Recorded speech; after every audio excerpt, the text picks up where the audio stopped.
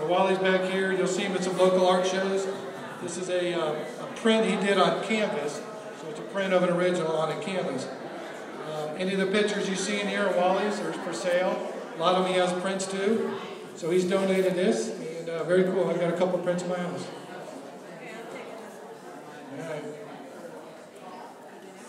And Wally just donated a surfboard over here.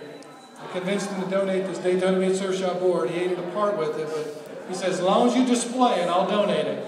And he signed it over to the museum. It's not on loan, it's a gift to the museum.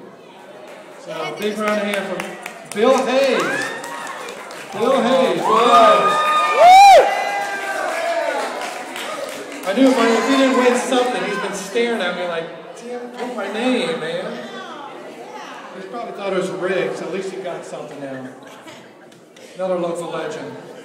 Joy. Wally will sign it for you on the way out.